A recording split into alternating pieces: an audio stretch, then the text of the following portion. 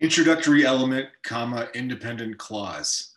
A study of the moon and bees. One. In the open parenthesis beside a conjunction, two commas nest. An independent clause on its way to the apiary spies them. Two direct objects of the mirror tested species, building a home in the branches of a scent Two. Somewhere a vacuum roars. Afternoon crickets crick in the ear.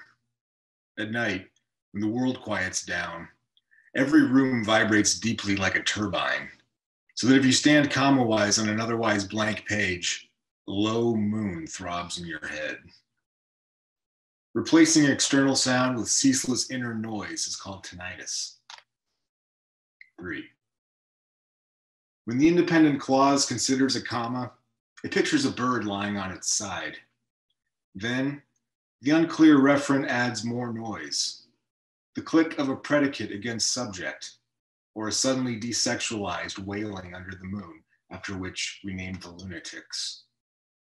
Four, lunatic, from Latin, lunaticus, originally referred to diseases people ascribe to the moon. It's easy to blame things on the moon. For instance, madness, epilepsy, fever, rheumatism, tinnitus, often felt as an unending ringing, buzzing, chirping, whooshing, and or vibrating in the skull. And love, an unending same. Diseases thought to be caused by the moon, melanoma, sunburn. Six.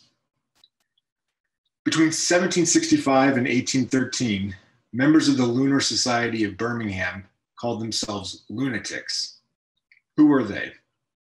A dinner club of industrialists, natural philosophers, intellectuals, illustrious figures, and other non restrictive appositives in an age with little street lighting.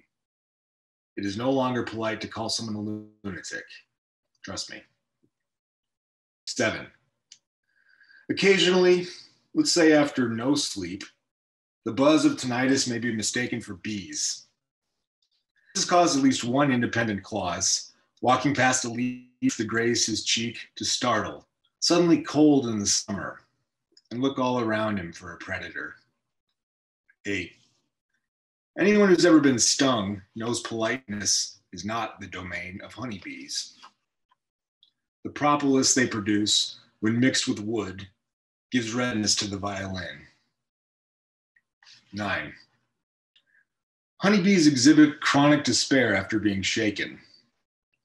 Through pheromones and the dance language, honeybees invert this reaction to reintroduce a kind of prelapsarian bliss to the hive. Sad party is their grammar. Like the moon, they have grown less successful over time. They make fewer nutrients.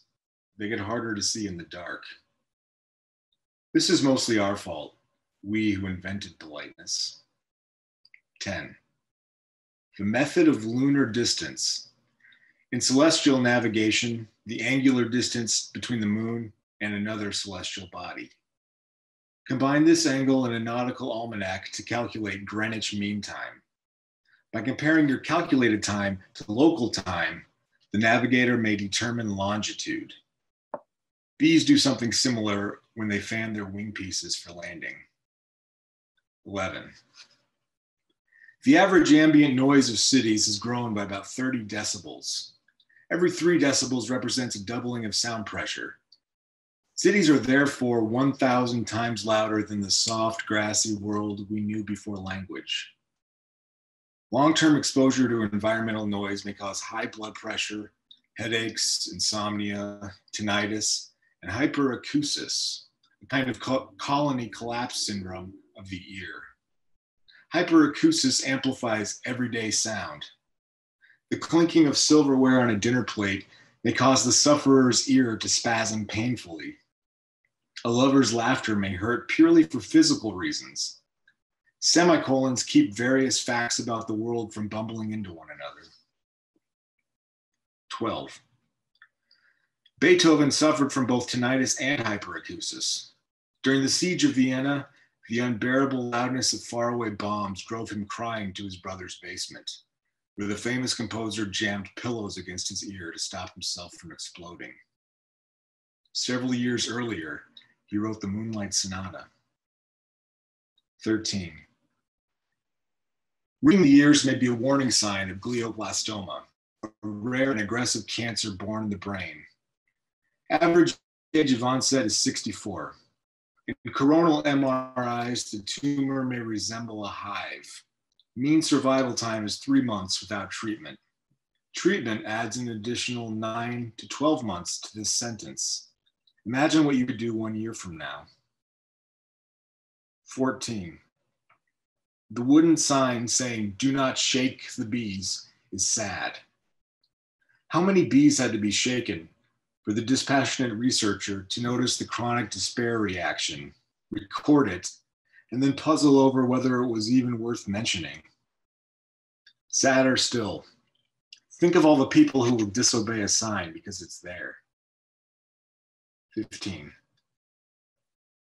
All things can be related to one another given enough semicolons and time, the careful combination of which may add up to one independent clause containing everything magpies and manta rays, the only non mammals who understand a mirror, Beethoven and honeybees, doomed musicians who ceaselessly buzz, the moon and other distances.